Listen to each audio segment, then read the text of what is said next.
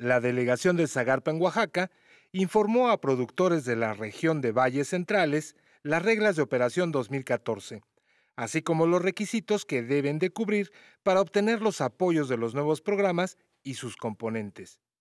Al respecto, el delegado Manuel García Corpus informó que las nuevas reglas de operación demuestran el compromiso que tiene el gobierno federal con el sector agroalimentario.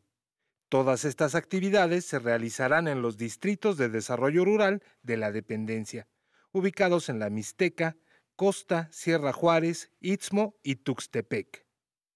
Las reglas de operación facilitarán a los productores continuar con sus ciclos, además de dejar atrás el asistencialismo y buscando detonar la productividad del campo oaxaqueño y garantizar con ello la seguridad alimentaria. Con la reforma al campo que propone el gobierno de la República, se incrementará el riego tecnificado.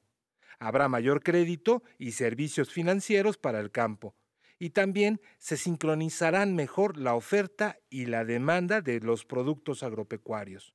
Entre los nuevos esquemas destacan la producción intensiva y cubiertas agrícolas, el ProPesca, el Sistema Nacional de Agroparques y el de Agricultura Familiar, Periurbana y de Traspatio, entre otros.